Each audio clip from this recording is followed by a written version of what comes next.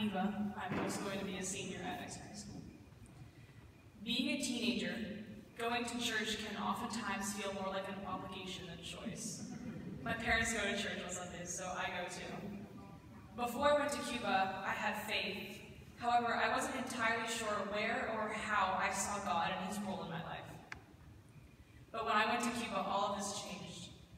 I was immersed into a culture and a people so strong in their faith and their relationships that I quickly saw all of the beautiful ways in which God works.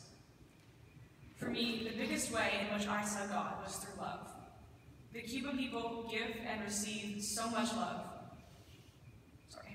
Um, give and receive so much love that being part of their culture for only one week felt like they had accepted all of us as members of their family.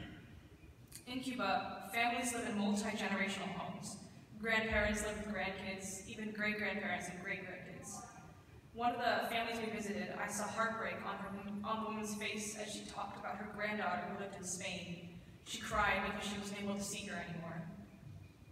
When we went to the houses, we were able to, to see directly into their lives and their experiences.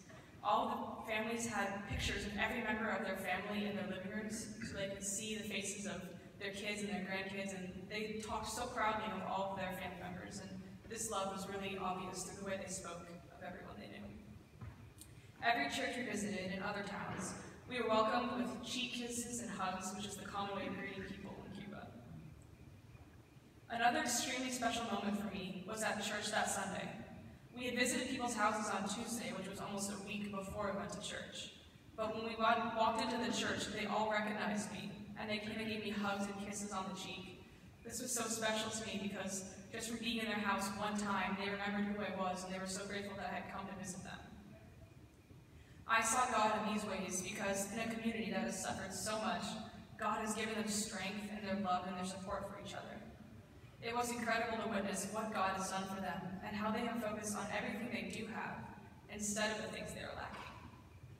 Back home in my own community, able to see God in my own relationships, with my fellow tripmates, with my family, and my sports teams. I have begun to feel strong currents of love coursing through them, and yes, I've even started to like going to church.